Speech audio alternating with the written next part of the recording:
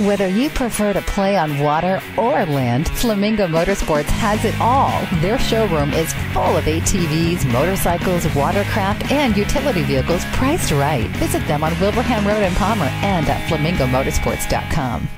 Bax & O'Brien tomorrow on the show. Mike Quincy from Consumer Reports will be on the phone with us, and also comedian Charlie Murphy has got a brand new book and a brand new DVD out. This is the book. This is the DVD. Charlie Murphy, the uh, the brother of Eddie Murphy. The Um, um, son of uh, Murphy Brown. Uh, no, I don't believe uh, Murphy Brown uh, was his mother. The brother of uh, Brittany Murphy. No, I don't believe they were related in any way. Uh, state representative Charlie Murphy. No, uh, totally different Charlie Murphys. Um, huh? The guy with the law named after him. The guy with the law. Yeah. Murphy's Law. Yeah. Well, he's had some uh, some bad things happen to him uh, recently, including uh, some things we'll talk about tomorrow. But that's uh, with Charlie Murphy tomorrow with Bax & O'Brien. What about um? Uh, what? Mike Quincy too.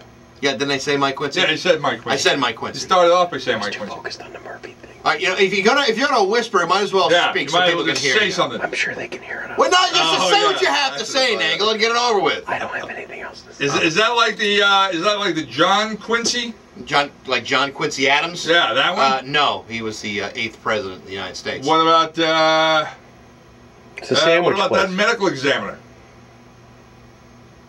Uh, no, that's that would be uh, that'd be Quincy with Jack Klugman. what about that sandwich place that used to be on Boston Road? I'm not aware of that place. That's Quiznos. Oh, Quiznos. Oh, okay.